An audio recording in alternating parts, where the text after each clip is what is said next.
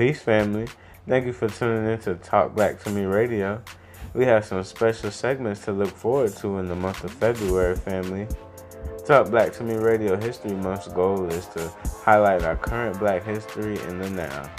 Here on this platform, we want to pay homage to all of our leaders who have stepped up for our communities currently and also in the past. February, as we all know it, is Black History Month, but this year we're going to put a different twist on it and honor our current leaders by making content dedicated solely to them on YouTube now and not 50 years later after we missed them. Since Talk Black to Me Radio is the People's Channel, you actually have a say in who we honor during the month of February being a part of the TBTM family. The voting process can be done here on YouTube in the comment section and at my brand new website, talkblacktomeradio.com, by clicking the Vote Now button or by filling out the poll box once you scroll down. Every Sunday throughout the month of February, the comments on YouTube will be checked as well as the poll results on my website. Here is a calendar to show how the posting schedule will go for the month of February regarding the Talk Black to Radio History Month segment and when you can start voting. Also, if you would like to reach out to me, you can do so through my website.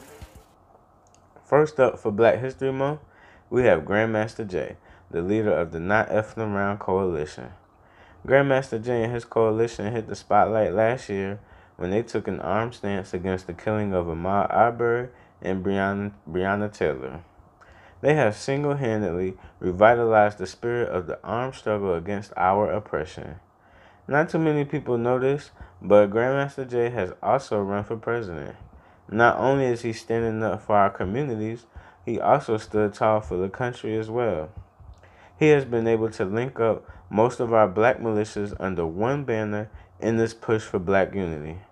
To me, that's a big point when it comes to this push for black benevolence, and his work will go down in history.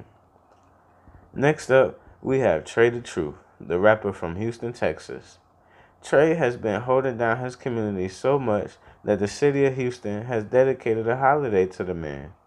Quite frankly, if more rappers and entertainers actually did similar hands on work, there would be more black love, in my opinion. He has done countless food drives for his community and even helped people rebuild their homes after Hurricane Harvey hit Texas bad. He even organized a march for George Floyd and demanded justice for his death. Tha Truth will also be in the history books. Lastly, but certainly not least, we have Alicia Keys. Back in 2003, she co funded an organization focused on helping our brothers and sisters fight the AIDS pandemic in Africa called Keep a Child Alive. Most recently, Alicia Keys has created an organization to help mobilize young people for change called We Are Here. She says she was inspired by the killing of Michael Brown and felt compelled to do something to help. What I can appreciate is that she did not want the spotlight and she let her organization push others that were already on the ground, such as the Trayvon Martin Foundation and the Equal Justice Foundation. Her work will also go down in our history books. These are just a, these are just to name a few great people who have stood up for us. Leave your vote in the comment section or on the Talk Black to Me Radio website and let me know who you would like to see showcased for the first week of February. Thanks for watching and don't forget to hit that subscribe and notification bell. Peace.